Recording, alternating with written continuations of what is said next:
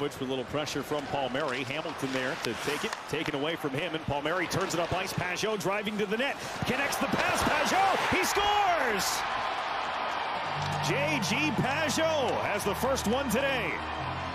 And this last pass, this one here to Palmieri, very good. Now he pulls up after that swat of the stick by the defenseman, misses. Now that allows a little bit more time. Watch the way the defenseman ends up right there. And that allows Palmieri to make a nice clean pass to Pageau, who fires it right between the legs, Jennifer. And just a nice little tiny sauce on it. Matt Barzal comes to get it. J.G. Pageau keeps it in the zone. Puck jumped the stick of Nelson, the hottest goal scorer for the New York Islanders.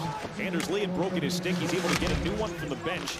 And the puck comes right to him. Here's Lee, alone in front. Save made, they score! J.G. Pageau pots his second of the period.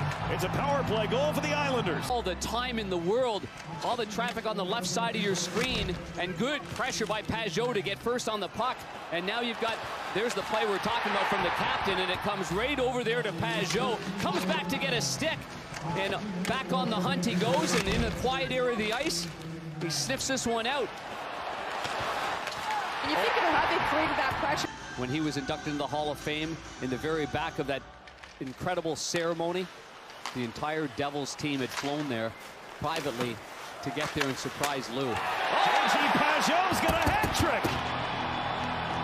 Parked himself right in front, and the puck comes to him. Second career hat trick. They've both been in New Jersey. Face off here, won by Pageau. He gets some help by Palmieri to get it back. Everybody converges on Palmieri, but look who's all alone there.